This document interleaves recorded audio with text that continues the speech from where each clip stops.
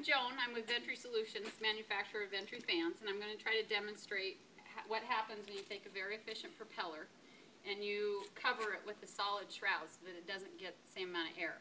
Um, this is our one and a half horsepower electric GFCI compatible model. And I'm gonna wrap this around it as if it's a shroud. You'll see it pull it in because the propellers pull air not just from the back, but they pull them from underneath, behind, and especially from the sides. I'm gonna turn up the fan all the way with the shroud on it and then pull it off as soon as it gets to full speed. Listen to the sound difference and watch this canvas over here for the difference in air volume.